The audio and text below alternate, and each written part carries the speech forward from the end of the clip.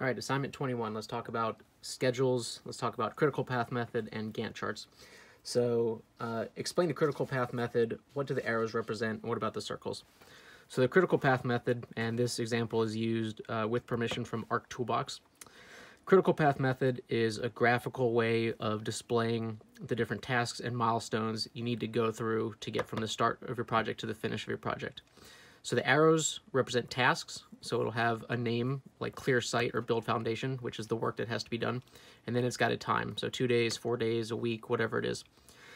The numbers in the circles are milestones, and so those don't necessarily have to be numbers. They could be letters, symbols, they could be anything, but you know, it just makes sense. Say milestone one, milestone two, milestone three. So the critical path is the longest sequence through the different milestones to get from the start to the finish. And so the reason that's important is because if any of the longest things get delayed, then the entire project will get delayed. So to figure out the critical path, we just look for the longest sequence that gets us from start to finish. Another thing to note is that um, a task has to start when the milestone is reached. Um, and so when you start, it's pretty easy. So the first thing is clear site. You get to milestone one. You can't build the foundation until the site is cleared. So here, we're in the critical path. That's easy, that's easy, and that's easy, right?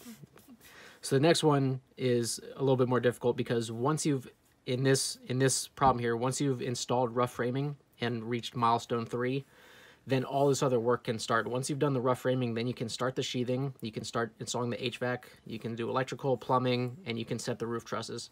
So we have to see which of these is the longest. So roof trusses is four days, plumbing is six days, electrical is nine days, HVAC, or I'm sorry, electrical is eight, HVAC is nine, and sheathing is two. So the HVAC is nine days, so that's gonna be the longest, that's the longest task, that's the critical path right there. So another thing this shows you is that uh, you might need to complete multiple tasks and reach multiple milestones before you get to a milestone you can move forward from. So if we're looking at milestone three and we're going to say we're going to start all this different work, uh, and one of the things we need to do is set the roof trusses, once that's done, we've reached milestone five, and once we've set the roof trusses, we can install the roofing. And once that's done, we've reached milestone 10. And so you think, okay, well, once I've at 10, I can start the drywall. But the set roof trusses, install roofing is only seven days combined. So that's not the critical path.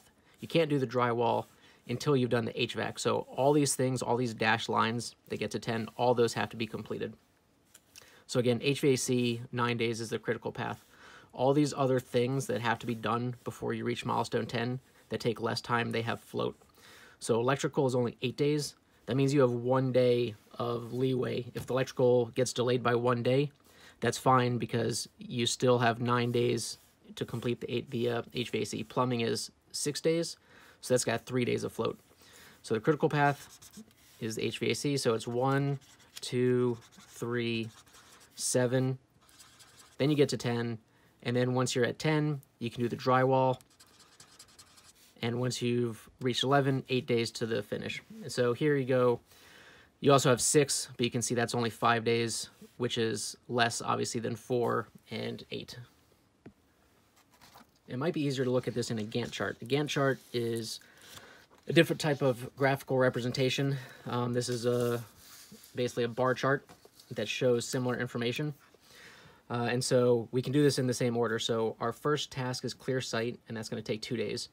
And you can't build the foundation until the site is cleared. So you can see you've got that dash red line there, and then the start date of build foundation lines up with the end date of clear site. So that's going to take four days. Then installing the rough framing is six days. So now we're up to milestone three, right?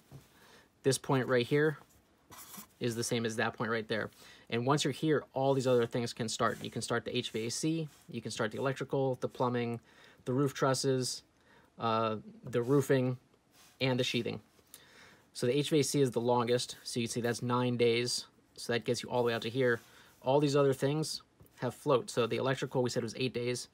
So you can spend an extra day doing that. The plumbing is six days. So you have an extra three days safety to get to the critical path and so on. And so once you reach this point, which is that milestone 10, then you can install the drywall. Once the drywall is done, you can start the interior finishes. Some things can obviously go through the critical path. That's what we have up here. So back at milestone 3, after we've done the rough framing, you can do the sheathing and the windows. Once the windows are done, you've reached milestone six. You can go down to milestone 10 once all these other things are done and start doing the drywall. But you can also start the exterior finishes. You don't need to wait for, uh, say, the plumbing to be done to start the exterior finishes.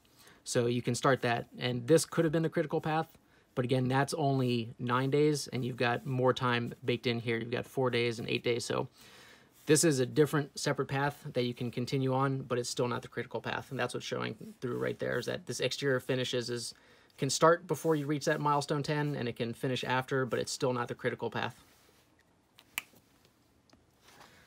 I think that's it for this one. The only thing is you can represent the critical path graphically, but you could also say that it's a sequence of the events. So it's 1, 2, 3, 7, 10, 11, and that's your critical path.